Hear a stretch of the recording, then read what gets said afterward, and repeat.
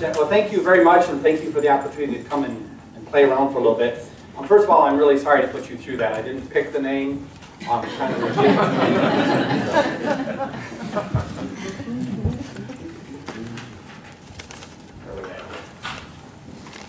Here, like that. Cool. Oh yeah. Um, okay, well, thank you. I, calm down. Gotta calm myself down. I get so excited anytime there's a teaching and learning situation. So I have had no caffeine yet today because that would have been really dangerous. Um, but the concept of bringing really educated people together to kind of play around in teaching learning situation is just always an exciting thing. So I'm going to try to do three or four things really quickly at the beginning to get things rolling. Number one, Stephen Brookfield. I don't know how many of you have heard of Stephen Brookfield, but he's a really neat guy who's written a bunch of stuff on reflection. He's, and he said, it's very rare for a faculty member to have the opportunity to be in the seat of a student. You can empathize with students, but to feel what it's like to be a student is a rare opportunity. So I would encourage you to embrace that today. Today you will be like a student. You'll have faculty members, and you'll go to different sessions, like different classes, and you can look through what works, what doesn't work, what do you like, what do you not care for, and take notes on that. So the process is a really neat thing too. So just, I think, embrace this concept here today. Number two is my friend Tom Angelo, and Tom Angelo has written um, classroom assessment techniques and done some bunch of stuff. Tom has got one of my favorite quotes of all time. Teaching without learning is just talking. So the concept of probably thinking or of thinking about teaching and learning and, and, what's happening is, I think, a really important thing. So those are the two big people out there. And then next one, I just have to introduce a couple of quick things about myself. Number one is I am a first generation college student. Um, I, some of you may have heard this story, but I got to just say because I think it really helps out with the whole concept. I talk to student groups a lot, talk to a lot of different faculty, but when I started college, I was going to be a state trooper. and I'm watching the clock here too, so I'm going to do this really, really quickly here. I was going to be a Michigan State Trooper, so I went over to the Michigan State Trooper post and I said, what do I have to do to be a state cop? That's what I want to do. He said, well, you're, how old are you? And I said, I'm 17, almost 18. He said, well, you have to be 21 anyway. Go get a college degree, it's going to help you. I said, okay, fine. I went back, told my mom, I'm going to go to college this is going to be so cool because I'm going to be a state trooper. And she said, okay, fine. But you know, nobody in our family's ever gone to college. I'm not sure anyone's smart enough to do it, but of course, if anyone can, you can. So I thought. so I looked around, found a good school. I went to Lake Superior State College at the time, University now. And when I got up there, I had to take five classes, sign up for classes. I didn't think you asked for help. I mean, you're a college student. You should be able to figure out your own classes. So I signed up for, I had to have a math class, so I took physics, I, I, calculus. I had to have a science course, so I took physics. I had to have a lab course, and I thought, oh man, physics has a lab, but there's no way they'd let you double dip. That seems inappropriate. So I took chemistry just to be sure. They said you had to have a social science course. I thought, okay, psychology, I love how people think and stuff, and an introduction to criminal justice. So I had my CJ course, my psych course, my calculus, my physics, and my chemistry, and I had my stack of books that cost me like a hundred dollars. I'm ready to go to college. And I got in there, and, and the first thing that happened to me, and I've got a little TED talk too, which was really fun to do at TEDx, and it was, I, I mentioned in too, and this, is, this happened to me. First, first grade I got, was an F minus minus. it was in my chemistry class, and I thought, I can't call home about this. I can't say, hey mom, I got an F minus minus, but she would have said, of course you did, we're not smart like those people. By the way, little messages in here for all of your students. When you give a student, when you give, when a student earns an F in your course, and it's fall semester or fall quarter, keep in mind that they're doing what I was doing. I can't call home because my family's just going to tell me, yeah, I told you that was a tough place to make it. You know what, you're a smart person, just come on home, is the kind of a tone. Or stick it out, but there's no, you don't do. So in this particular case, I worked up the nerve to go to the faculty member, small school, about 250 faculty, so we have a nice, nice community. excuse me, I'm so sorry to bother you, Dr. Jones, but I have this F minus minus and I don't know what it means. Well, Given you received enough minus minus, it doesn't surprise me you failed to comprehend it. what I really want to know is could I pass the course with enough minus minus out of the gate? What he told me was I was too stupid to understand what it is I was doing. And that's a problem. So from that point forward, even back then, I started thinking, I want to make sure it's clear between what I'm saying and what students are hearing, and what students are saying and what I'm hearing terms of what do they mean and what are they saying. So if a student says to you, hey, Dr. Z, missed class Monday, is there anything, uh, did I miss anything? That was it. Couldn't make it to class Monday, did I miss anything? You know that statement? so, of course, many of us in the back of our minds are we're thinking, well, we didn't think there, that's an occipital, that'd be stupid. In the front of our minds, we're thinking, well, of course you didn't miss anything. Without you there, how could learning even take place? we all put our heads down and we mourned your absence. We can think that. We can laugh about it. But the issue is, that's not what the student means. So if you would, please, from here on out, if a student says to you, hey, did I miss anything in class, stop and say, you know, what I'm hearing when you say that is, did you happen to teach anything of Monday that was of any consequence? Is that what you meant? And if the student says, yep, that's one conversation. now you gotta, oh. If the student says, oh my gosh, no, that is not what I meant at all. What I meant was, is there anything in particular that I should, should prepare so that I'm ready for class on Wednesday? Say, okay, well then form that into a question and ask me that one. And I've had students do this over and over again. Okay, Dr. Z, I'm really sorry I missed class on Monday. Is there anything specifically that I should do so that I'm ready for class on Wednesday? So that's a different question than did you miss anything. And by the way, as a quick side note, um, my daughter heard me talking about this a while ago. She is a sophomore in college right now, and she said, she laughed and she said, you know, my music teacher did that in high school. Anytime a student would say, did I miss anything, she would say, that's rude. Reformulate your question. And she said to this very day, this is my sophomore daughter, she says, to this very day, if I miss a class, I look at an instructor and I say, I'm so sorry for missing class. Is there anything in particular that I should do to prepare for the next class? So these are learning things, as opposed to just kind of moving on. So if the phone rings, if a student comes in late, whatever happens, you say, okay, what's going on here and how can we do this learning? So that was big for me as a first generation college student when I got my F minus minus. I also got a D minus in my intro to CJ class too, so on the first test. He had half of the test was from his syllabus personal statement. In 1972, I was a member of which organization? Oh. now, here's what I would say going into this whole thing, still watching the clock and be careful here, is if you want to do that, fine, do it. It's not a terrible thing. I know several of you groaned, I would groan too, but that's okay. We all should teach the way we should teach. But tell your students this is important. The concept of they should know this and the way you teach them a lesson is by failing them on something, and then they'll never let that go again. They could learn that lesson by being told, you need to know this, and then they do well on it. So that concept is just letting them know. I personally don't do two-page stories of where I was in 1972, but the concept there is just working through them. So that was my big first-generation college student story. My big thing from there on forward, which was kind of fun, Got out of school, made it through, my family came, they were all real proud of me, they all hugged and they said, what a great person, you've done so many wonderful things, what's next? And I said, I'm going to go get a master's degree. And they said, oh, that is so exciting. So I got my master's degree. They came to the ceremony, hugs and kisses, and, and everyone says, that is so great. What are you going to do? And I said, I think I'm going to get a PhD. And my grandson says, when are you going to get a job? got the PhD. My grandpa was proud of me. He also was proud of me. Remember, first generation college student. He was like second generation in the country. Um, his whole concept was teaching is so, so fabulous of a career for you. I said, thank you. He said, yes, you get June off, you get July off, you get two weeks at Christmas, you get a weekend for that. I said, no, no, that's not what teaching's about.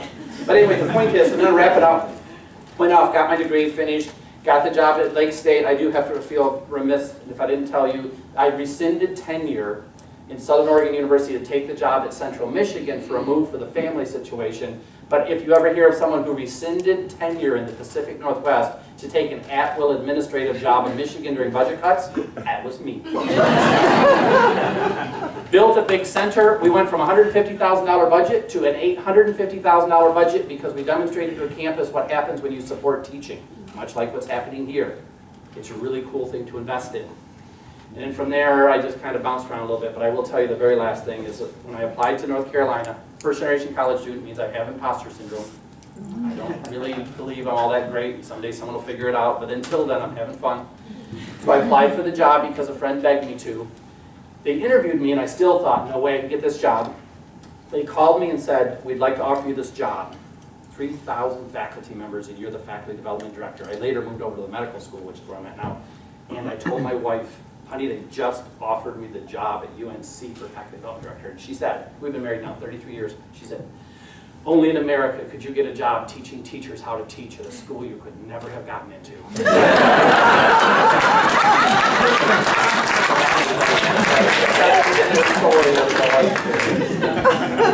so that gives you a kind of a framework of where I'm at and where I'm from. And I do that for just a couple of minutes because we'll spend a bit of time together today. And I love the comments from Charles. I'm going to have to call you Charles because Dr. Strain on.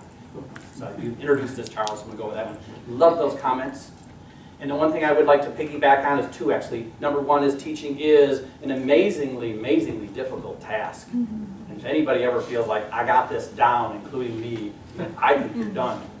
I think that you look at around you, what I like to do is I like to walk along, and I don't want to be depressing about this, but I walk around and think of what has changed in 30 years. If you just pause and think just right now, what has changed in 30 years? The laptops that we carried 30 years ago and what they look like. the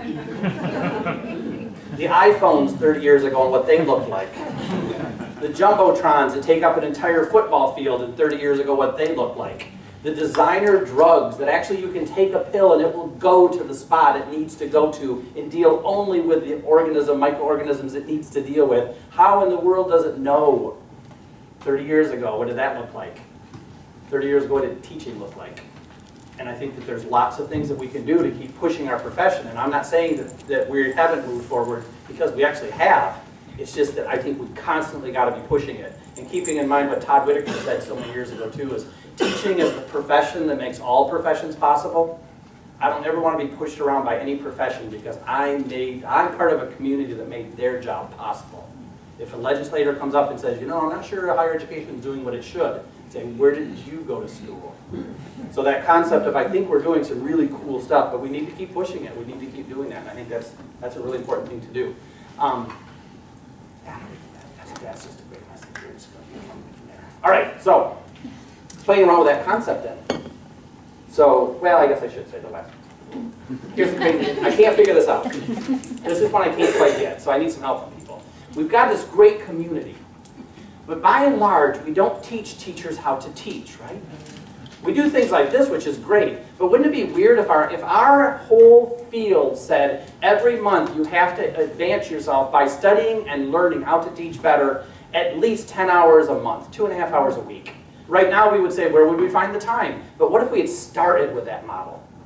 That's just part of the job then. It wouldn't be, it's like, how do I find time to teach? I can't teach my class, I don't have time. That's a weird statement, isn't it? but I can't read these journals because I don't have time. It's kind of the add-on. So if it wasn't an add-on, that'd be good. But we don't by and large teach teachers how to teach. But the other cool thing is we don't teach our students how to learn.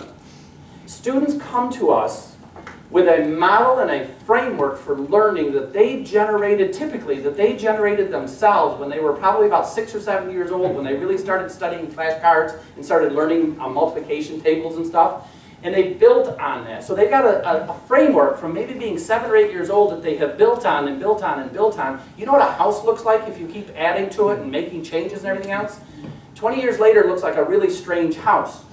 Every once in a while, you raise the building, so to speak, and you say, let's get down to the core of things and put in a new foundation and really, really rethink this. I would love it if students would come off to come to college and we would actually work with them for a while and say, let's talk specifically about how to learn. So that's one of the big rampages I'm on. That's why I love this whole theme today. And of course, I can't let anybody off the hook. So administrators, where do you go to administrator school? Do you go to dean school, to provost school, to president class? Um, sorry, I can't come next week. I'm in the president's seminar on how to be a good college president. We basically have a system where these individuals learn on the job. So we all kind of learn on the job. So I guess just keeping in mind it'd be really cool, and that's why I, I helped rebuild the faculty center at um, UNC Chapel Hill was we actually changed it from a teaching center to teaching, scholarly work, and leadership. And the concept was let's help people all work at their jobs. But it's a neat concept, just keeping that in mind. All right, now, playing around with some of this teaching stuff. I was in a doctor's office a while ago, and this was before I started working in medical school, so it was a little different. I saw somebody pull out a Sudoku puzzle. They filled out the puzzle, and then they pitched it off into a recycling bin, pulled out another one, and did the second one. And then they finished that one, threw it off to the side, and it did very quickly. It was probably there for 15 minutes or so. And they started the third one, and I'm thinking, I can't get my students to do homework. And this person's filling out these puzzles and not getting any credit for it at all. So I gotta ask you real quickly, and we're gonna ask you just to come up with this one. So um, I gotta play around with different things. I'm gonna ask you actually to turn to your neighbor and give you about a minute to do this. Talk to your neighbor and you in the overflow room too. Which one's the overflow room camera? Is this one in here or is it somewhere else? That's your overflow. Okay, overflow people, you gotta do this too. Um, just turn to your neighbor. Actually, three groups of three would be ideal. Okay? Yeah, this, some of you are so smart because you look really quickly like this. And the reason I say that smart is that there's nothing more awkward than being in a workshop or being in a class and the teacher says, okay, big pair hair, turn to your neighbor, and you go, ew, no. That's just mean. So what you do, of course, is anytime someone says, okay, we're going to be in the groups, you go like this. And that's just, that's just nicer. Okay, so, groups of three. I'm gonna give you all of, I gotta use my timer here because I keep losing track of time if I'm not careful here. I'm gonna give you like 90 seconds, and that's why, quick 90 seconds, let me get my timer. I'll use this a couple times, so there's my timer. Oh, good. 90 seconds. Think of anything you can think of, the list as long as you can, or whatever you want to think of is, why would a person do these, I mean, crossword puzzles and Sudokus, I mean, crossword puzzles around for the longest time. People spend an entire day doing a New York Times Sunday puzzle. What is it about these puzzles that really drive people to complete them? Okay, groups of three, 90 seconds, on your mark, get set, go.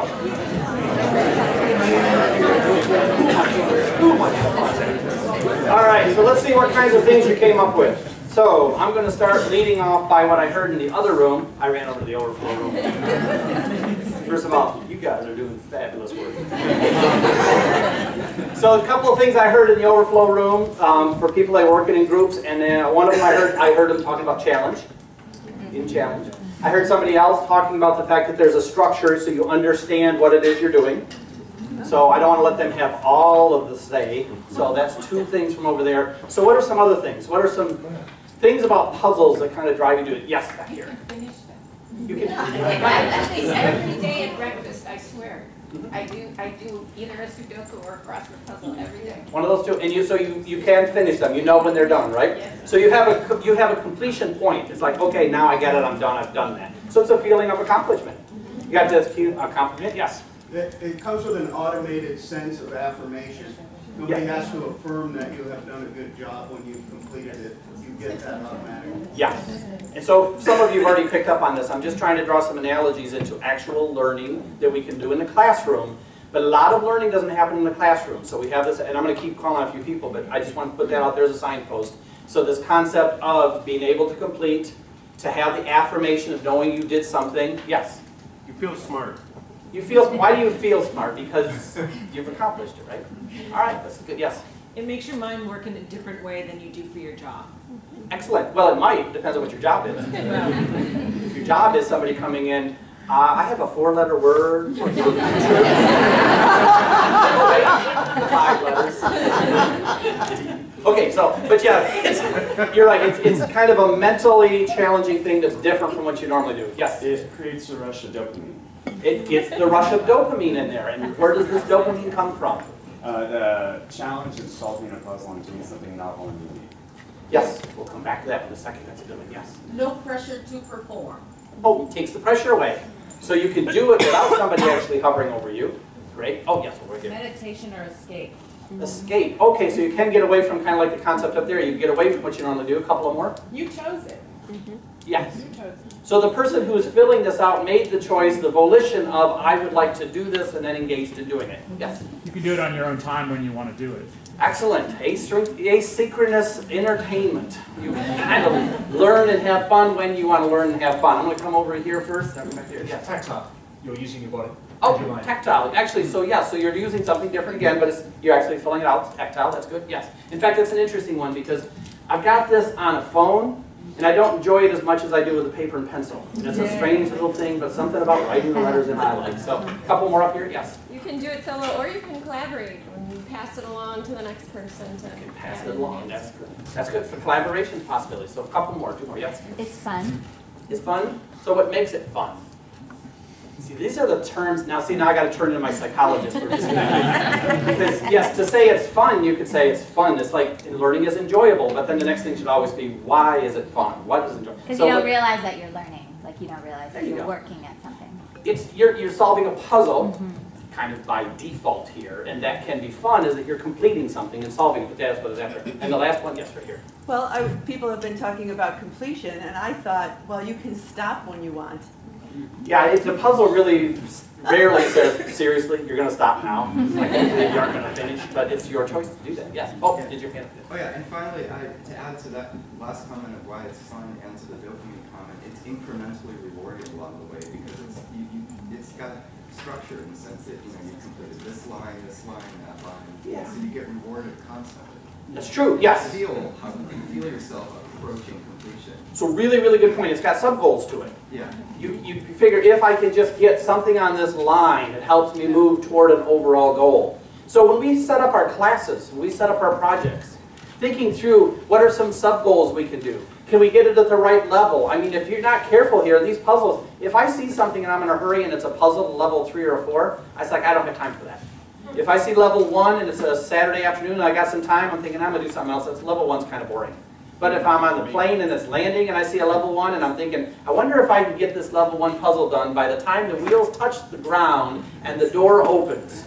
So now I've created a little puzzle, or a little challenge for myself. It's a little more dopamine. I like the dopamine. It's good stuff.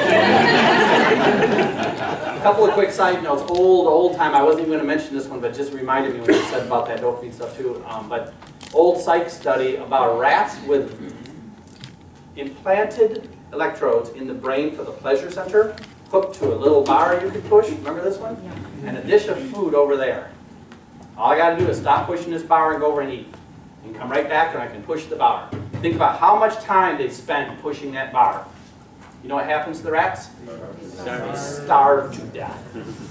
That dopamine release, that feeling of pleasure of like, I've got this thing right there in that part of my brain is so intense that they will not stop from this. Now, there are chemical substances out there that replicate this, which makes danger, drugs extremely dangerous and very, very addictive. So is learning. And it has great side effects. So if you think about the side effects of learning as a drug. But that concept here, so it, the challenge level, it's what is sub-goals, all those things is happening. But if you think about your classes, and I'm not talking about, yes, you could go down that road of saying, having gaming in the classroom, and there's lots of really neat stuff about learning and gaming. But even if you don't go down that road, turning your whole class into a game of sorts. When you give homework problems, what kind of homework problems are they? Can they complete them? Are they at the right level? Are there sub-goals? Can you take a part of one problem and put it into something else? Do they see the broader spectrum of what they're doing? Or are they just filling something out because we say do these problems? For years I taught statistics. Do the odd number problems in the back of the book. And the concept was if you finish those problems, it would practice enough that when it come time for a test, you would do well on the test. Oh my gosh, that's hideous. But a lot of people do that. And instead you turn into a little game of, here are four problems I want you to complete. And after you complete those four problems, I'd like to, you to explain to me why it is I picked those four problems. What about these four problems? Or how about this one? Here are four problems I'd like you to complete. Please write a fifth problem that deals with this area but isn't the same as one of these four problems. That starts to become a whole different gig for doing homework in terms of that. In fact, there's a calc prof a few years ago, he wrote up about, wrote this, and he said, instead of giving just his set of calculus problems, he would give a smaller set of calculus problems, and then the question, what am I going for here? What did I want to teach you with these problems? What did you learn? Asking the student to reflect on finishing those problems.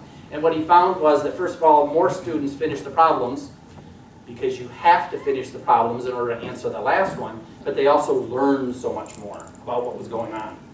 So puzzling can be great, but that dopamine rush, all the things you mentioned, can be extremely powerful. I mean, it can go to some extreme levels. So here's extreme levels. This is a puzzle. See the little, right at the very top, see that little like lighter color spot up there? That's a dollar bill that's been folded and placed at the end of this puzzle. This puzzle is about five feet wide and 10 feet long. My family put this together.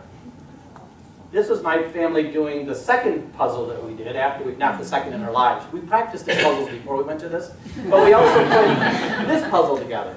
24,600 pieces, I think it was, just under 25,000 pieces. What does that look like in action? It looks like this.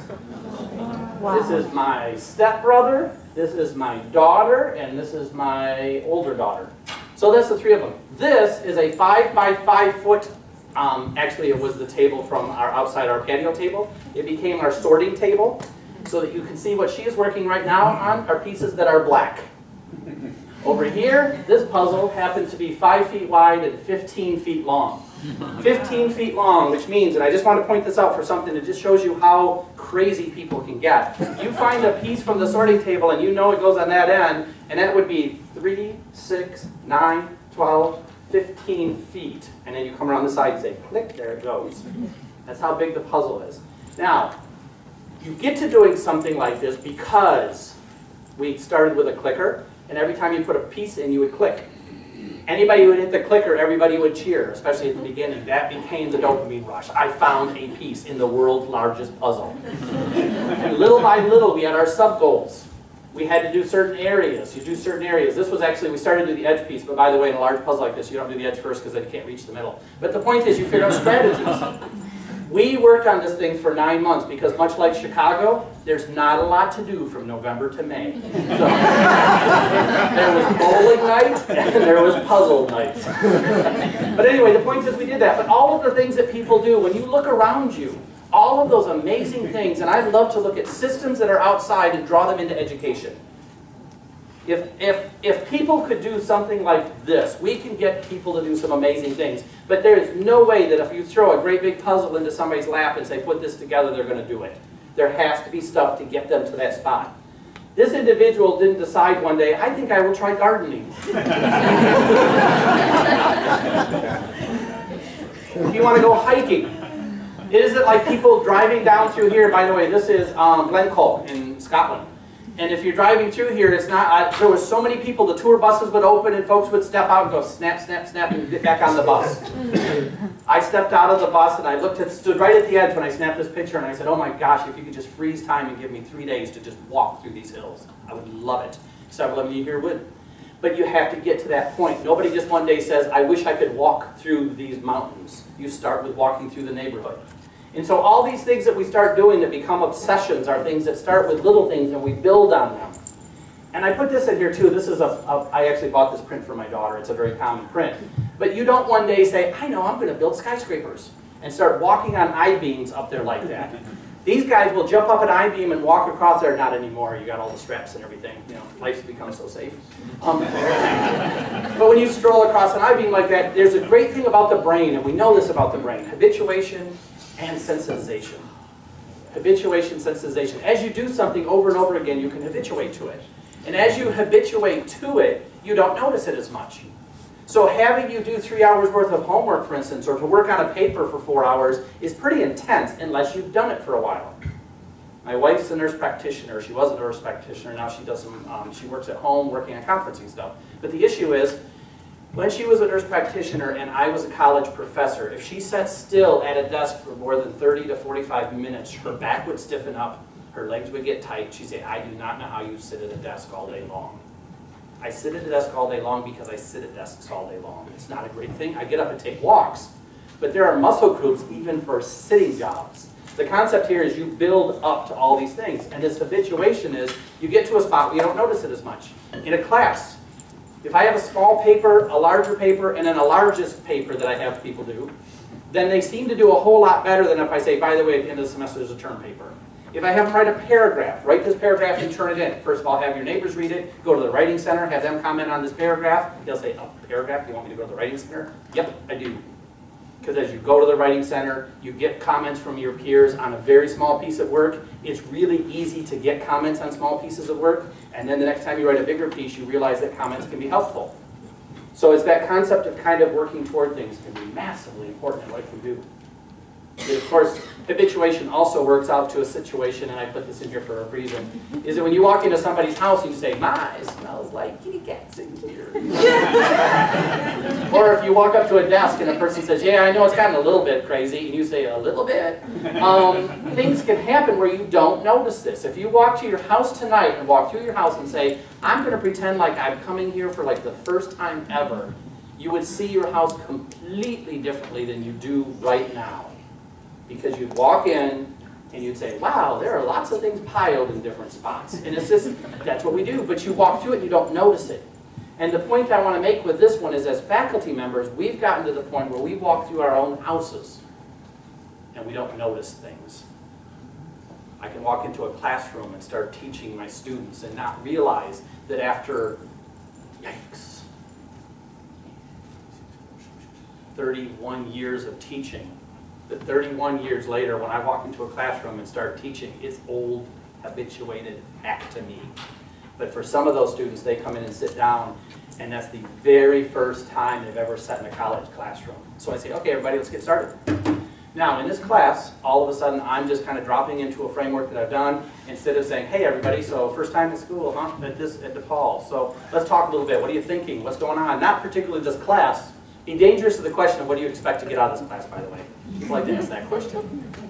My, my fabulous wife one time wrote for her social psych class, uh, I have no expectations, therefore it's impossible to disappoint. I thought it was funny, she thought it was funny, the teacher thought it was a little rude. So, but the concept of what are you after, what's going on, asking people what do they think about the class, what do they hope to get out of the class, where are you headed, um, those types of conversations can be great, but just be careful that you don't walk into a habituated situation where you're the one that's all this constant and the students are always changing. Because it doesn't take very long, and all the students feel like the same student, they just change names. And if that happens to you, you've got to step back, kind of like walking through your house and saying, I wonder if I were going to buy this house tomorrow and think about putting an offer in, what would it look like versus how do I live it? And if you walk into a classroom and think, hey, these guys all have different personalities, oh, they're different humans than the last group. And I mention that because um, there was an old sad joke that was told of a faculty member years ago at a place I was at. Dr. I'm making this name up, Dr. Smith. Dr. Smith is becoming more and more bitter because he's been teaching biology for 20 years and the students still don't get it. That's a habituation problem. Well done, there's your dopamine. Just in case you want to know what it looks like, it's right there. That's not real size. That's blown up a little bit. So we do have this reward center, and if you think about it, how the brain's wired, which is so cool, is that we are wired. I, I love to play this game every once in a while. It's kind of like a, what is it, this is why I'm a psychologist, what is it about how we're structured that makes what we do so, so interesting, but also just possible? Just imagine if we didn't have this for a second, right? Take this away from. By the way, one of the most powerful things in teaching is just the B button on your, on your keyboard. It just turns the screen black, and you hit any key and it comes back. You put a model up there, and you want the students to look at it for a second, and then you want to talk about it. If it's a complicated model and you start talking, they'll keep looking. I'll get to multitasking in a second, but you can click a button right there and say, let's just talk for a minute. But imagine for a second you didn't have the dopamine. What if you didn't have a chunk of your brain that for some reason solving a puzzle seems to be enjoyable? Okay? So what would that change? I'm just going to ask you just to quickly come up with a couple things. What would that change in like everyday life right now? If you look around what's going on, what would what would change if you didn't have something like that wired into you? Anybody got one? Total lack of motivation. Yeah, motivation for pretty much anything, but that's a little more global than I was after. What specifically? Pick a specific thing. Yes. You wouldn't pay attention. Yeah. We wouldn't be here. Yeah. Why- Yes. Would probably come here, paying attention. The reason we pay attention is we pay attention so we can get clues to figure things out. Okay. There's a couple. How about very very granularly too? Yes. It would be no fun to drive. To drive. It's like, you know, it's fun to like leave in and out of traffic. Oh.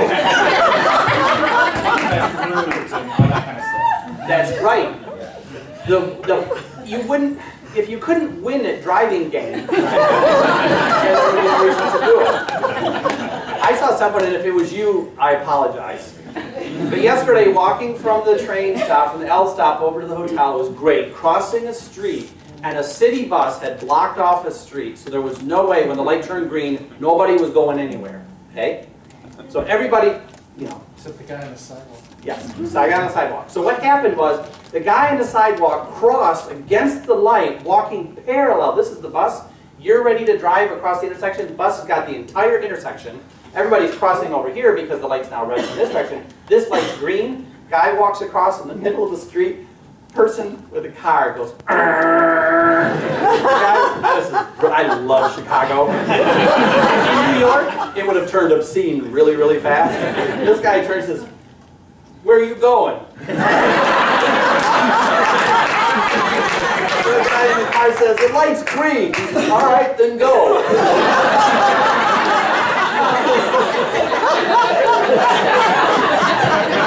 You aren't going. So then we walked out across, and it's like, all right.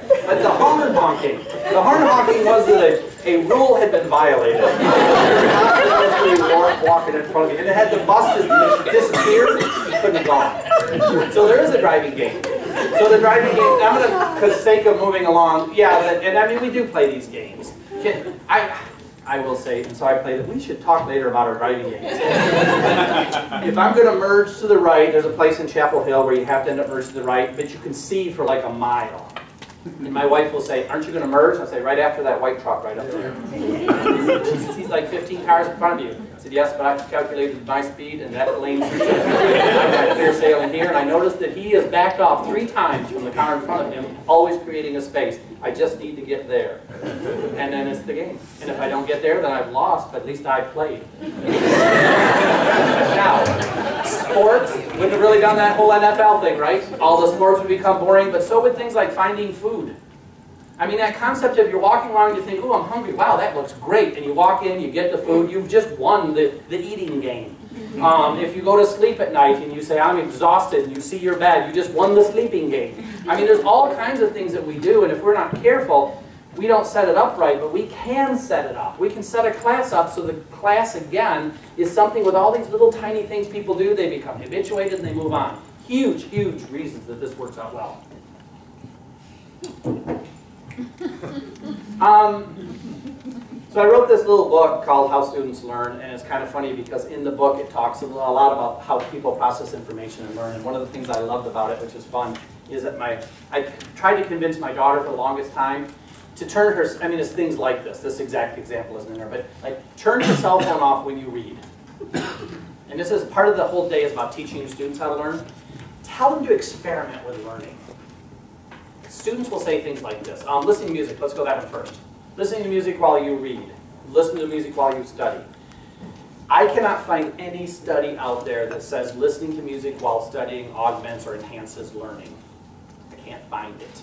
I can find studies that indicate that if you have white noise in the room, that that can enhance learning because it distracts you from the noises. So anybody who says, well, I listen to music because it takes away the background noises. Well, that's true if you don't listen to the music. You just let the music take the noises away. But if you periodically find yourself humming along with it, what happens is you may say you're not listening to music. And by the way, the way the brain works on this is really cool. I'll get to multitasking completely, but you cannot focus cognitively on two tasks and think heavily at the same time about two different things. So sometimes I walk into the room and my daughter says, I can't study without music playing. I'll walk into her room and she's studying and there's no music playing. I say, I thought you had to have music playing. She said, oh, oh, it stopped. Okay, and it was Pandora. And after a couple times it stops, and then she hits the button and it starts up again. I said, but weren't you just studying? She said, yeah. So the music wasn't playing. Uh-huh. Okay, so then we move on. So she had that music, but what she does is she tunes it out to the best of her ability. But also, every once in a while, I walk by the room and she's singing along. So the concept is that we, we, our brain will follow whatever is interesting. If you're listening to Pandora and you're kind of tuning it out, and all of a sudden a really good song comes up, your brain will go over there, but your eyes will keep going on the paper. So the point here is just try it both ways. Put the, put the music off, try reading. If you want to have it so light that you can't really understand the words or I can't understand the music, but it's got something, or get a white noise generator, but you can pra practice with these different things. Um, but the concept of putting a phone down while texting, and, and students will like, they'll text while they're reading. Text, read, text, read. Those types of things are very disruptive, but unless you practice at it, you habituate, you get to a spot, but the next thing you know, you're sitting on the phone, or sitting on the couch, talking on the phone, reading the paper, and doing all this stuff.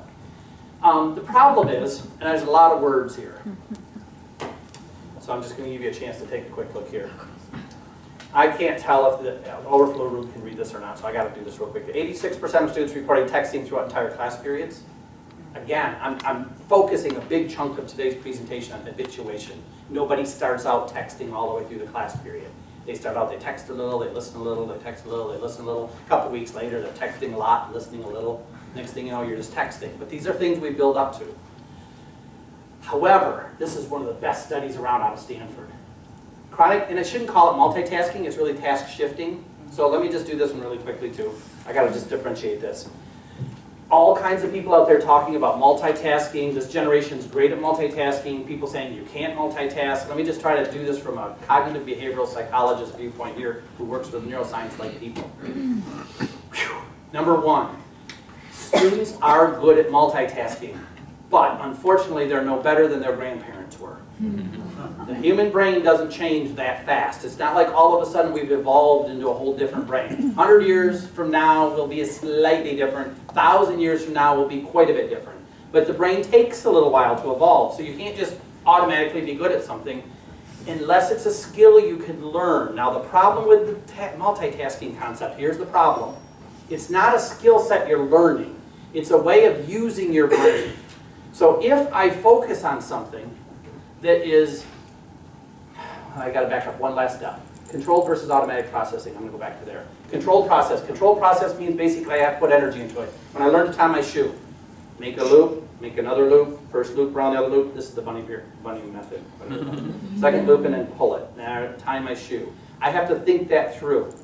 When you first started walking, all of you, do you ever notice when you've got a baby that starts to walk, the first couple times they're walking, if you say, oh, what a big boy, what happens?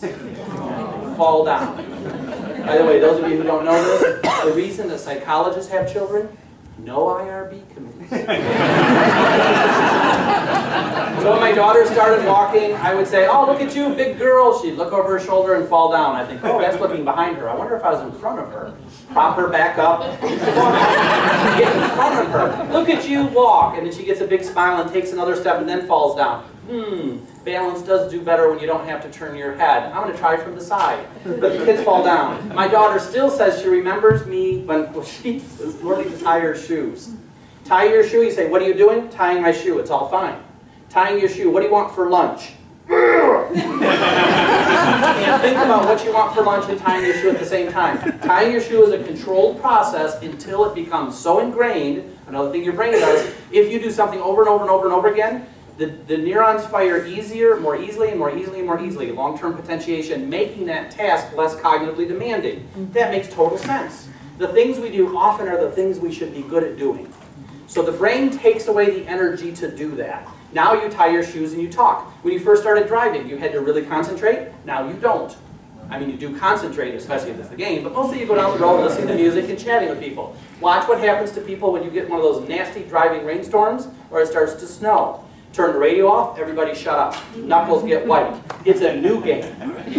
You just shifted from automatic to controlled process. Now, here's the reason the multitasking thing becomes difficult. You can multitask as long as at least one of those tasks is completely automatic, or at least only one task is controlled, everything else is automatic, then you can do it.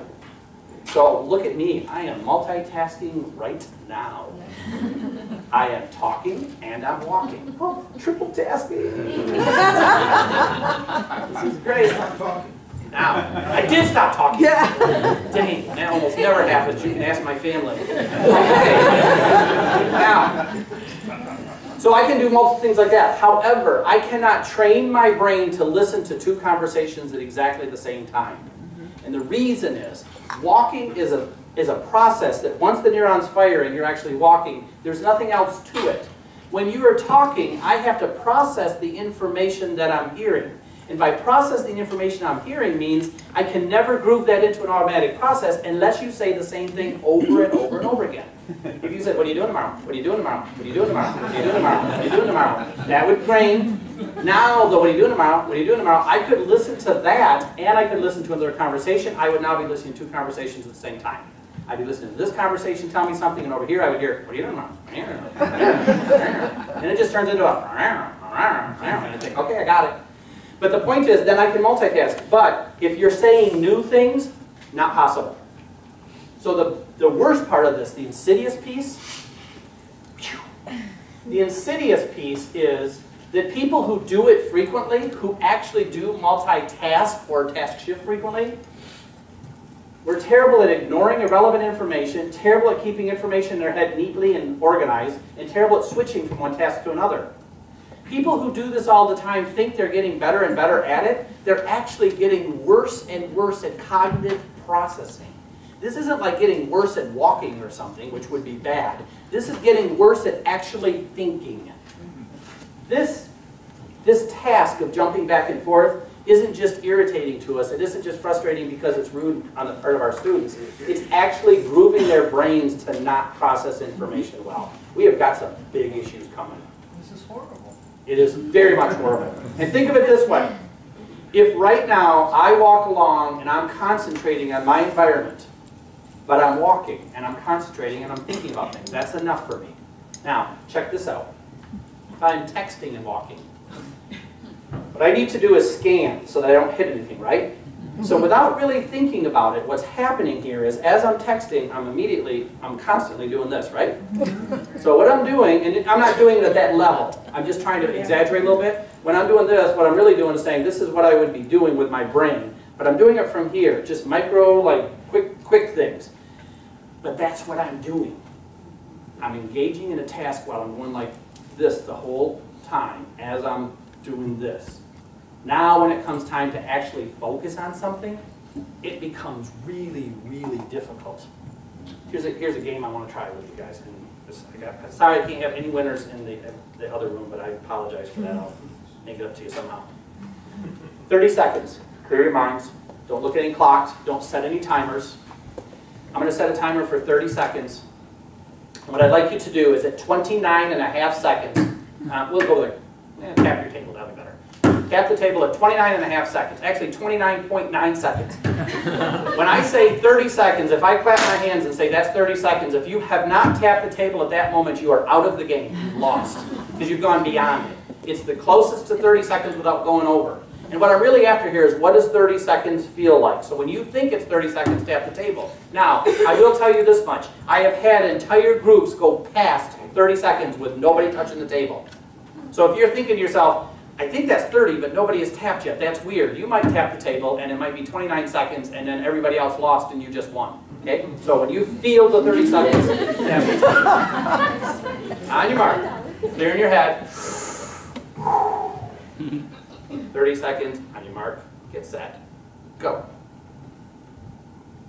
Just tap the table at the 30 seconds.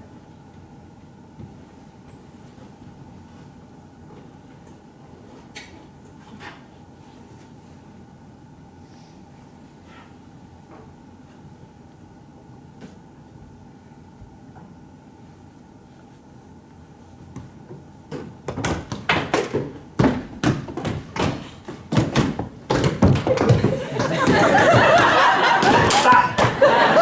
Oh, that was so, you just lost. Hair over, I heard one right over in here, was that yours?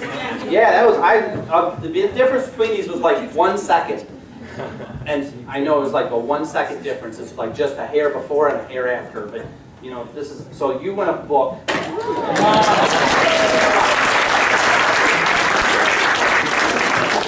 You win a Bloom's Taxonomy slider. This, this fabulous prize. Let me tell you what you've won. Like all the Bloom's taxonomies. They got verbs, and assessment questions, and instructional strategies. Um, you can you can buy that on Amazon. So um, here's what I want though. I got to move on now. But the first, you guys did a really good job. The first table was hit at 16 seconds. I did this a while ago, and the first person was with a group of students. First person hit the table, eight seconds. yeah, think about that. I want you to be quiet for 30 seconds. 1,001, 1,002, 1,003, 1,004, 1,005, 1,006, Part of this, it's all fun and games until we start to think, this is what we're doing to our brains. That we're getting in a situation that if a person doesn't look up, check the text, do something within a couple of minutes, it feels like forever. So in your class, that idea that if you don't shift things up every 12 minutes, the students get bored, they're not doing things, that game is gone. 12 minutes is a, can you imagine that's 30 seconds. If I said, okay, let's just sit and be quiet for 12 minutes. First of all, and it also, I shouldn't say, first of all, it also shows how sad it is that we don't just sit back and relax. By the way, the people who are best at this one are people who do meditation and yoga. People just sit back and say, oh really, 30 seconds gone already? Wow. But a lot of people, it's a lot, it's the time moves fast. So we have to be careful with this. The other one is, um, that's just something I found. on the internet.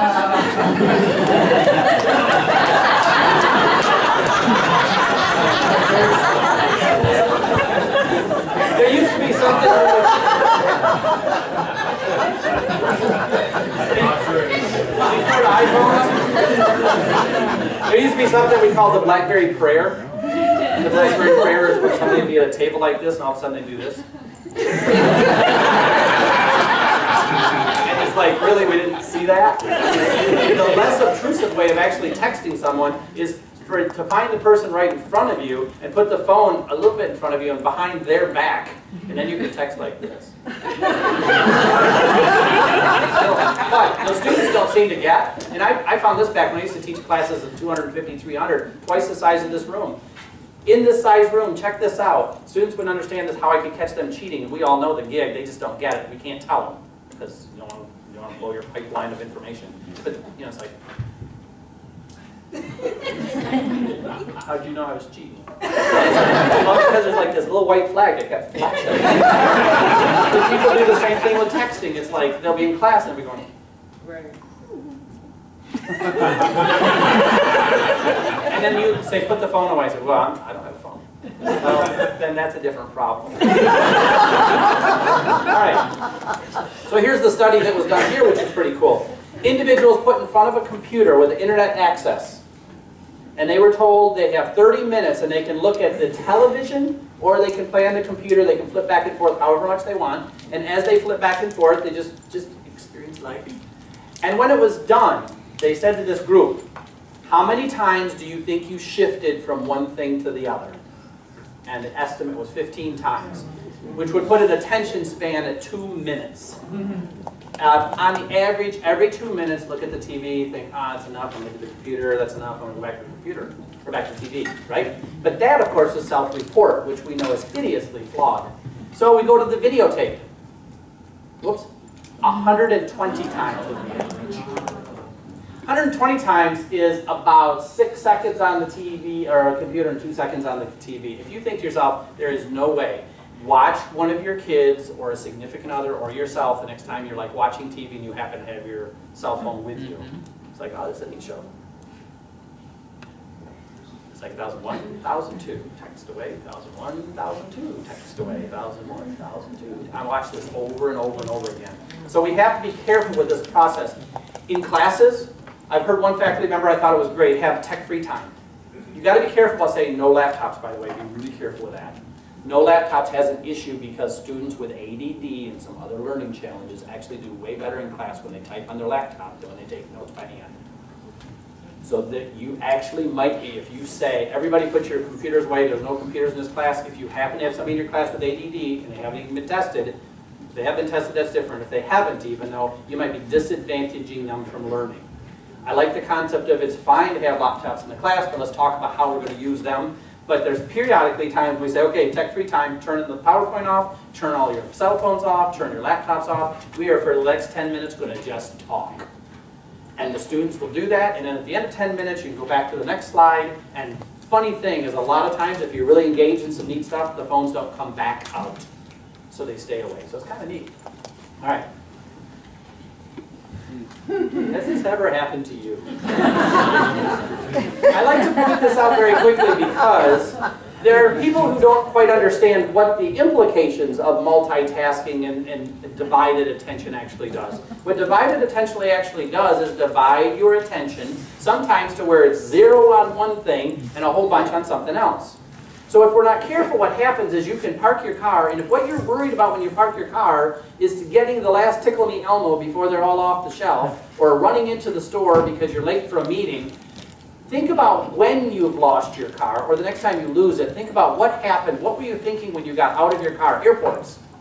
You're late for your flight, you finally find a place to parking after circling around a bit, you run into the airport, you get in line, you're all panicking about that, you got your keys, everything's fine, you get all the metal out of your pockets, you get through, I run to the gate, I get on the plane, I sit down, and then I'm thinking, oh, I made it. All my focus now is where I'm going. Two days later, I come back to the airport, and it's just about as you're walking into the main concourse area, you go, oh no.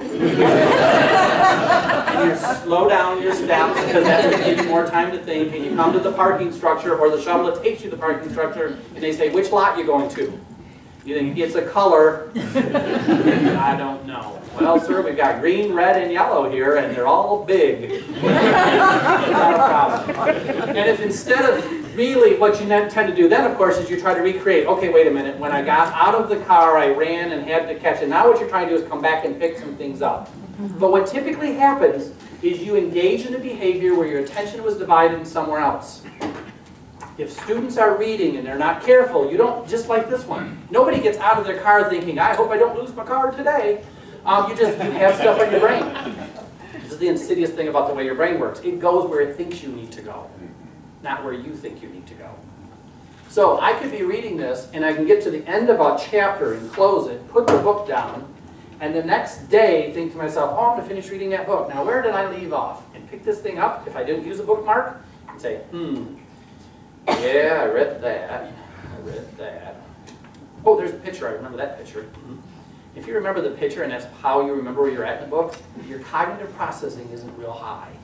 If you look at something and say, oh yeah, patterns in learning, I remember reading about patterns in learning because patterns do this. And the reason I'm pointing this out is that a lot of times people cannot remember at all what they've read and sometimes not even remember where the book is. So students will do this. I can't find my book. How do you lose your book? This is mostly for your high school kids. How could you lose your calculus book? How could you lose your history book? Well, I don't remember where I was when I put it down. The thing is, the attention was divided. So what you have to do is draw the attention back in. So you tell your students, want to help them be better learners? Be mindful while you're learning. When you get out of your car at the mall, all you have to do is get out of your car and say, I choose to not forget where my car is, and walk away. Because what you've done is pull the attention back. You don't have to go into an elaborate process of remembering where you're at. You can say, okay, J.C. Penney's is right there and Macy's is right there, so I'm right here, and give myself a general area. But by and large, as soon as you think about your car, you're in the general area. When you're reading your chapter, if you stop periodically and say, what did I just read? That's all you need to do, and it will be more, it'll be, it'll be more better than if you just read. there you go. Lose your sunglasses all the time, later you find them on top of the head, all you have to do is come through the door and say, okay, I believe that I will wear my sunglasses on top of my head today. And then you'll know they're there. Or you do it all the time the same way. But the point is, teaching the students and ourselves too, when something like this happens, that's a beautiful opportunity to say, I am going to start thinking about why I'm forgetting stuff, thinking about why I'm not doing this, versus, wow, that's irritating. So that's where you play around with that one. Now, kind of fired up here and moving fast. So, okay, good. I just want to kind of get a sense of where I'm at in this whole thing. This is from Dee Fink's, Creating Significant Learning Environments.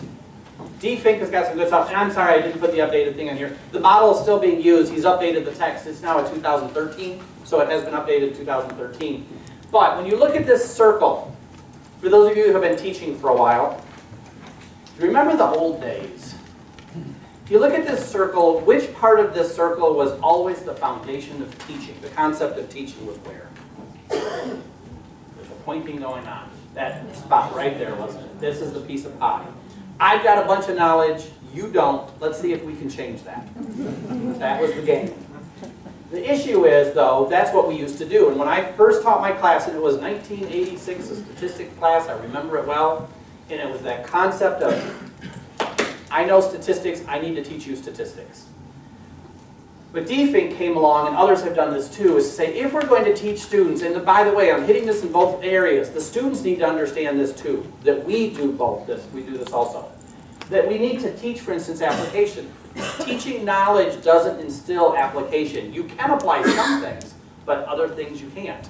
And the best way, in fact, we, oh, there's so much stuff going on right now in the literature, getting people to apply skills to new problem sets is the biggest focal point, it seems like, all over the place because people are not good at it. You teach the, I, I did this workshop one time, a couple years ago, something like this, doing the same kind of a model and saying, here's some things about teaching, here's, here's what we did break up into sessions, we'll do that a little bit more this afternoon too, where you get into small groups and you do things, and at the end, someone said, that was fabulous, I really enjoyed it. If I taught statistics, that would be so cool, but I teach, I teach you know, sociology. Mm-hmm. I said, really, so you can't use any of this? And she said, well, you're a psych prof, and those were psych things, right? And so the point is, not picking on that individual, it's that what she was doing was looking at the knowledge component. These are the pieces, but not thinking about application at all. But you know what I also didn't do? I didn't say, by the way, here's some ways to apply this in different areas. So if I periodically say, oh, you know, you could do this in any class, all I say the words, you can do this in any class, and I bring about some application. But you have to bring that up for your students. Integration, teach them how to integrate. So you don't just teach them foundations, you teach them how to apply, how to integrate. And then the whole left side of this is all kinds of stuff we never used to care about. The human dimension, you're learning about yourself. Caring, it turns out, and I like to say this by the way, and I don't mind being taped saying it, at the very least, if nothing else, and I know this is going to sound like a joke, but I don't believe it is, at the very least, they should think you care. Isn't that funny? That's the very least. That's the bottom level. And then from there, you work your way up to where you do care would be ideal. But now as I say this, imagine what would be below this point would be, what if they think you don't care? And that's why I say I think the very least is they think you care, because I know of students and I know of faculty who say, I don't care if they like me or not, that's not my job. Kind of is a little bit. we do know that, I mean, can you imagine a coach? I don't use sports analogies a lot, but I come from a place that plays basketball once in a while. Um, that was so funny when I got there. Whole ADD side story on that one. I got there just thinking basketball was a sport, not like a form of religion. But Coach Williams there at, at Chapel Hill, or Coach K over at Duke, or any of the others, Calipari, any of them, could you imagine a really, really good coach, coach here, just saying, okay guys, you know what, I don't really care. Get out there, you play the best you can, I don't really care for you guys, I don't even like you very much. but winning is important, so let's work hard at it. I mean, kind of changes the whole game. So the concept is that we have to do that. By the way, the thing you should at least perceive that you care, they should perceive your care and stuff. I still remember one student whose dog bit me during class one time. and for those of you who say, ah, I would not allow a dog in my classroom, neither do I. she just thought it'd be fun to bring him. And I walked by the desk and it was one of those little tiny yippy things, pretending to care. Jumped out of her purse and bit me in the ankle. And I thought to her, I thought to myself, well, at least the dog knows that I don't care for her. Nobody else does. But the point here is, and there almost always one, is that we have to be careful how we communicate with our students and what do we do to show caring and stuff. And by the way, I want to be really careful on this one. That doesn't mean cutting breaks on everything. If you are my students and I tell you, papers are due Friday the 1st at noon, and only in extenuating, in extreme circumstances would I ever let you have an extension. Otherwise, it's Friday at noon, period. And you show up, and I say, and now, oh, gotta do this right. Four exams in the class, 100 points each. There's a paper worth 100 points. That's 500 points in the class. You show up at 12.02 and say, I'm so sorry, Dr. Z. Uh, the L was running a little bit late, and I had to run. I got caught by this bus that was caught in an intersection, and this guy was honking at another guy. who was honking. Listen for that dude. So I'm like two minutes late, but here you go. And if you go, hey, I'm so sorry, but 12 was the deadline. There are people who say, how could you be so mean? The students especially would say that. But that's not what I mean by caring. Caring isn't to say, oh, I see you had a rough time, yes, let me take the paper. Caring is I care about you as a human being, and I care that you learn things, and I care that you go forward. And caring could very well be as, I'll sit down for just a second because we're going to have a really unpleasant talk, and I'm so sorry. But I'm not going to take that paper because the deadline was noon. You knew it was noon because we've had three other papers in this class, and you know I've never accepted anybody's paper who was late. Sure, only worth 10 points each, but I've never taken them. I've had extra credit assignments, and I have never accepted extra credit. If I take that, I, I basically just blow up my whole system. I'm sorry, we worked it through, you could have handed it in yesterday, I'm not taking it. That's still caring. So I just want to be careful it isn't kind of morphed into this concept of caring is that you let students do with it whatever they want. It's not it at all. If you can't not accept a paper like that, and by the way, keep in mind, if there's 500 points possible in the class and that's worth 100, that's a zero now. That student has 80% is the best they can do if they get 100% on everything else. If they've got a B level, they've just about flunked the class. With a B in this class, now they're getting an F, because that's not an F, it's a zero. If they handed to me and got a 50%, that's a different score. So zeros are hugely impacting. If you don't have the intestinal fortitude to look at someone and say, you're two minutes late, you just flunked the class, then what you do is change your policy. Have a different policy. One of my favorite ones is papers are worth 100 points. It's one point per hour that they're late during business hours, 9 till 5. I make them due at 3 o'clock on Friday. If you want to turn it in on Monday morning and take the weekend to keep working on it, Friday at 3 means 4, 5 o'clock is the end of the business time, then it goes around to 8 o'clock in the morning. If you're waiting for me at 8 o'clock on the nose, you get two points you've lost. At 8.01, it's 3 points. At 9.01, it's 4 points. You could take the paper for the whole weekend now and only take a three-point penalty. Over half of my students will turn it in late, about half will take it for the weekend, actually about a quarter. And that's fine with me. I have some to read over the weekend, and I read the rest during the week. But the point is, I never look at somebody and say, you failed the class because of this, this minute. So just think it through how you want to do it. But caring and in teaching students how to learn, huge, huge issue. Now,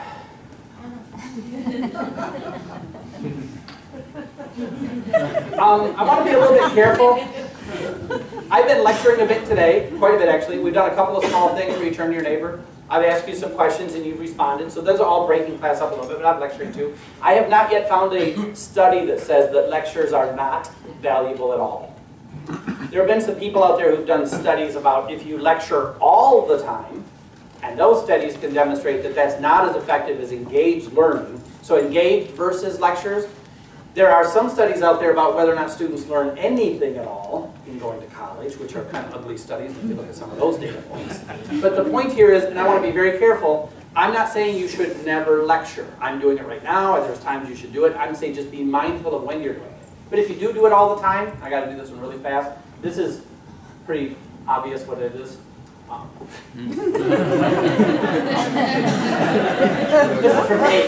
Actually, Hake, I love this because this is 6,000 data points. This is from, um, Richard Hake did this and it was called 6,000, uh, summary of 6,000 students, I can't, physics class. If you do 6,000 students in physics, it pops right up. Each one of these is an entire class. What he did is he did a pre-test in his class and he did a post-test. You take your post-test minus the pre-test and that's how much you gain. If on your post-test you got 100%, pre-test you got an 80, pre-test you got 80, post-test you got 100%, then of course you had a 20-point gain. So this line right here is if you did score 100% on the post-test. We don't want that, it's a ceiling effect, you never want that. But the point is, the closer to this, the more the gain is. These lime green kind of colored things are all interactive lectures or interactive classrooms. Sometimes an interactive lecture like we've been doing here. What do you think of this? What, why would a person, what would dopamine do? What if you didn't have a reward center? Get into groups of three, that kind of stuff. This is a traditional lecture. Traditional lectures are I come in, I lecture to you, and I say if you have any questions, come see me in my office hour. Now although you would think that those were gone, you look around, they're still around. Lots of them still around. What we found, we, as in Richard, found, which really surprised me, is that there should be a couple of lectures up in here, like really good lectures. But I realized later, when I first looked at this grid and thought, why aren't there a couple of lectures up in here? This is kind of neat. They're all down here. And down here is where you also have some interactive classrooms, which, by the way, Jen, you're going to love this one. The message I give you today is stop lecturing and do crappy group work, and you'll be at the same point. um, no. But if you do good group work, you're way up here. But actually, the joke here is that the people who lecture phenomenally well don't do much better than the people who are doing poor group work, which is interesting. The reason that this happens is it's not about teaching, it's about learning. If you teach really, really well, then the next question is, does that really, and I know it's weird playing with words like this, you could say, I'm a great lecturer, but are the students learning? What I've just done is separate teaching from learning. You might be a phenomenal lecturer, but are they learning? And the point here is, even if you are a phenomenal lecturer, there are classes out there who can't learn from that. So we have to keep moving that along into the lecturing, or moving into engaged learning. As, so the data is really clear here. I'm not gonna spend a bunch of time on it. This is Kelly Hogan from UNC Chapel Hill. This was the first exam scores in her biology class, bro- broken down by ethnicity. The light green here line here, are first generation college students. African Americans, first generation college students, Latino, Asian Americans, and Caucasian. You see this gap right here? It has been happening since 1970, actually it's been documented since the 1970s. D's, F's withdrawal rates of African Americans in predominantly white institutions is twice that of Caucasians and Asian Americans. Happens over and over and over again. This class has 400 students. This isn't discrimination. This is African Americans not performing. So you might say, well, maybe those students are less prepared. Nope, looked at the data, not the case. You cannot account for the variance by preparation. And every time this has happened in the past, and you force people to work in groups, you get data like this. This was the next semester when everybody was told you will be working in groups during class. I'm going to put you into groups of four, pair up with your neighbor. I want somebody to say something. And all of a sudden, not only did all the ethnicities um, differences disappear, but every group did better than any group, which is pretty darn cool. All she did was start doing interactivity in the classroom. She, by the way, this was in 2011. She's done it for the last several years, and she gets the same findings over and over and over again. So you can really change things considerably. This last one was Richard Feynman. And Richard Feynman actually, he knows a little bit about science and stuff. Not Feynman, I'm sorry, sorry, no, no, I messed up the name. It's not. Now I'm blocking it. What'd you say? Laurier? Uh, Deslauriers is the first author, but it's the Wieman, Carl Wieman. Wasn't Richard, it's Carl Wieman. Yes, Deslauriers is the first author. Carl Wieman's actually a, an author on this study too. Carl Wieman taught a class from lectures, and this wasn't a great design, but it was kind of cool. He taught a class lecturing. He had his grad students teach a class using interactive techniques, and then everybody took a quiz. These are the grad students' students' scores, and this was his students' scores. And they report they were massive difference every time they do this. You can take a Nobel laureate, Nobel Prize winning physicist teaching physics and cannot do as well with a lecture as graduate students will do with interactivity. This is perfect, Jen. Not only can you just do crappy group work and be as good as lecturers, just have your grad students do it. You guys just sit in your, and undergraduates could do it too. I mean, as long as it's active learning, you're all good. So what you're really after for the message, I don't want anyone to leave with that one. The real message is that if we do, if you take his stuff and make it interactive, that's where you see the massive gains. But the point is, you can't just lecture all the time, and I just throw that in there because students don't understand this too, but you should use group work, and this is the real reason why. Forget all the data. This is all data. Look at this. They become more beautiful. These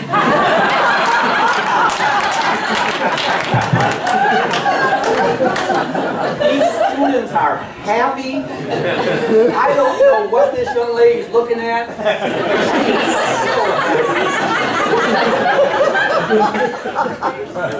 I heard someone in the group just recently, because I've been showing this a while, she said, I think that she likes her. but whatever it is she's looking at, whatever's going on in here, the whole concept is, is like, look at wonderfulness. But I can tell you that this is, might be what you're going for,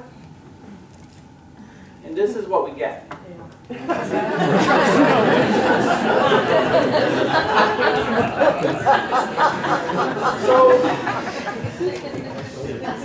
students, this is all helping students to learn. Um, trying to tie these back. If we teach better, they learn better. If we do different things. Number one on this particular one is if you're going to use group work, please teach your students how to use group work, but also talk to them about why you're using group work. It's amazing to me the number of people who will do groups and not specifically say to their students, I'm going to use groups in here and here's why. You're going to be working in groups and here's why. Okay? Now, we're done in eight minutes and I wanted to leave 10 minutes for questions, but I always go over by five, but then there's other sessions going on, so I should.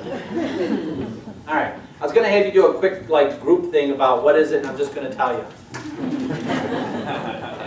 if you don't listen, then it's just talking. Remember the quote from the beginning.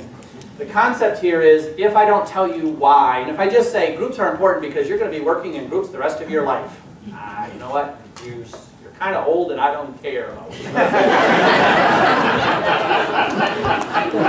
Happened to me just recently. By the way, I was at a McDonald's recently and I got a soda and a small drink and it came to a dollar twenty, a dollar seventy-nine. You know how that happens? A dollar twenty-nine sandwich and a senior soda. My first thought was, you little piss head. My second thought was, 50 cent soda.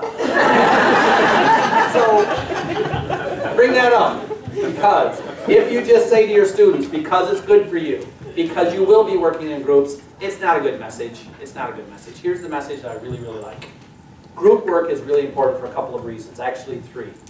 Number one, which is what most of you probably tell your students, is when you work in groups, you develop interpersonal skills. You're going to figure out how to work in groups in a non-life-changing environment.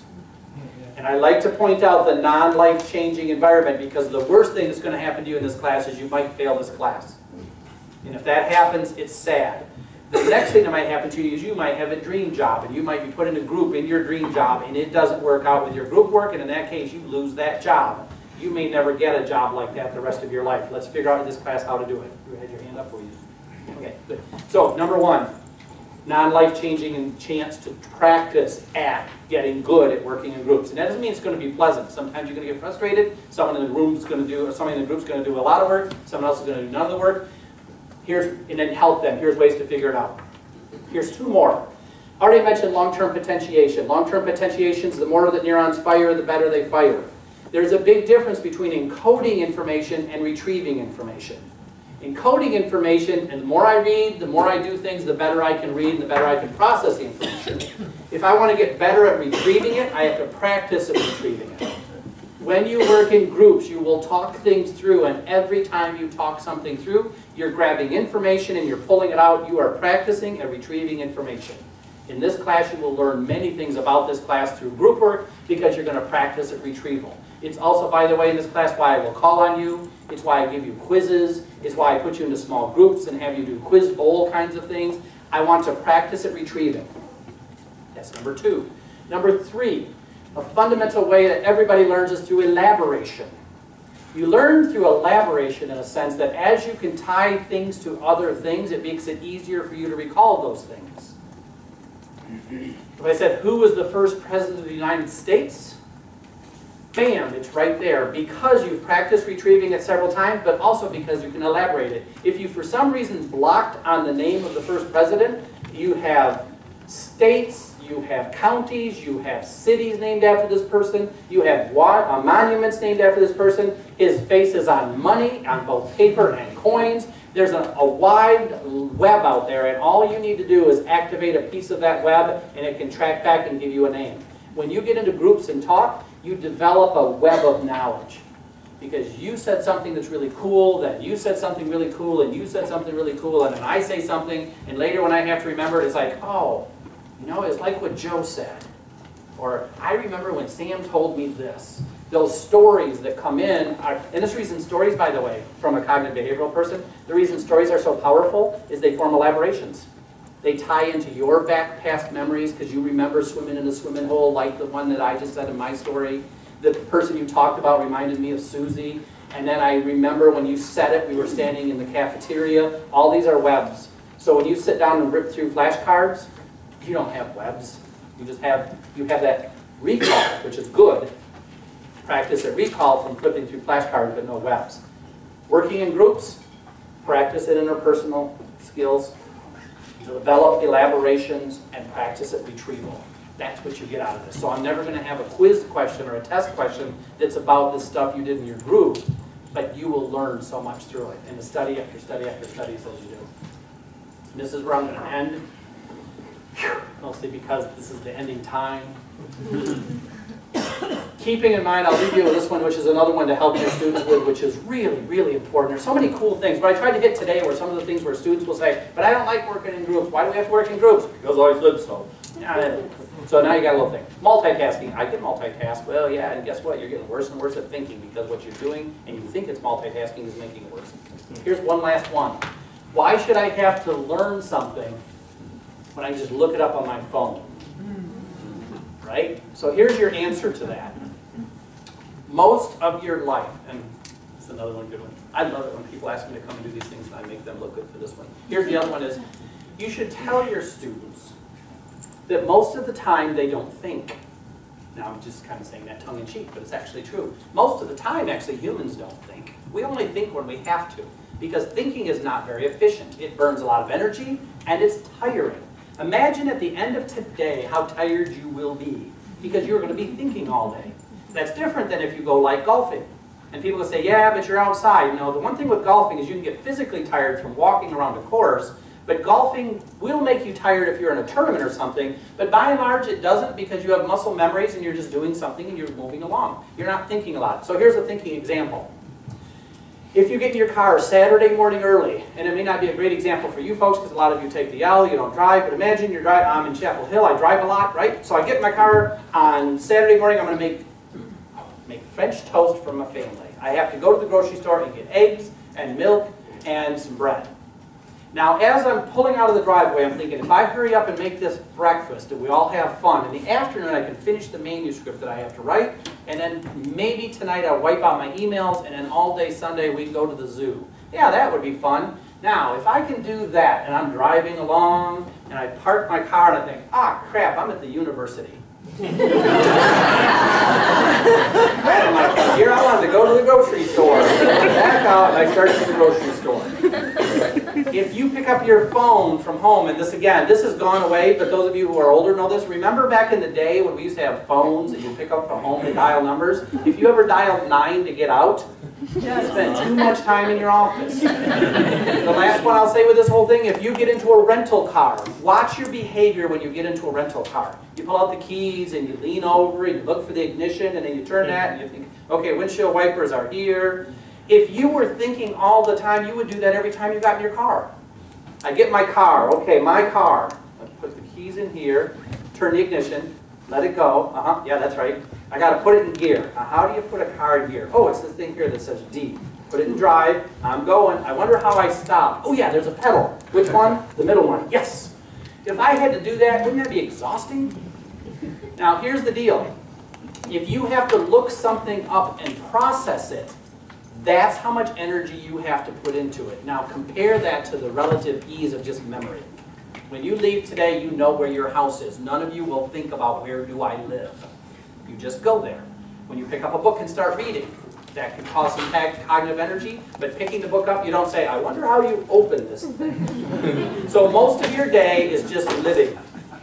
If a student has to look up what an unconditioned, and I will finish in one minute here, if unconditioned stimulus, unconditioned response, conditioned stimulus, and conditioned response, I have to look that up, and then I have to figure out what they each mean, you don't have a chance at higher order conditioning.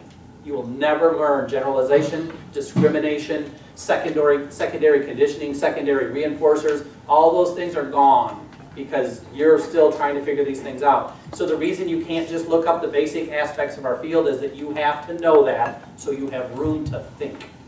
And that's why this is a really big deal, is telling them it's better to memorize basics so you can think about the complex stuff. And that's why you're at a university. You're figuring out the basics and you're getting that foundation so that you can build on that in a meaningful way. I'm going to finish now because, I, as I mentioned, I usually go five minutes over. If I stop now, I'm actually four minutes early.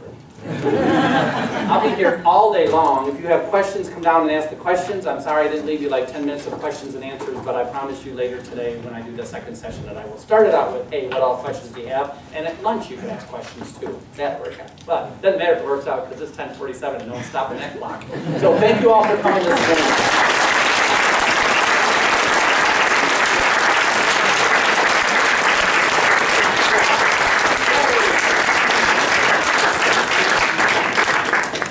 Next? So, next we have our concurrent sessions. They're going to start at 11 o'clock. Um, there are three different options. Um, and if you want to talk more to Todd, you can do so. And he'll also be here in this same room um, for an afternoon workshop. Yes. So, But we have 13 minutes before the next session, so if you do have a question or two, you can hang around and ask me. But for sake of time, you know that you have to go.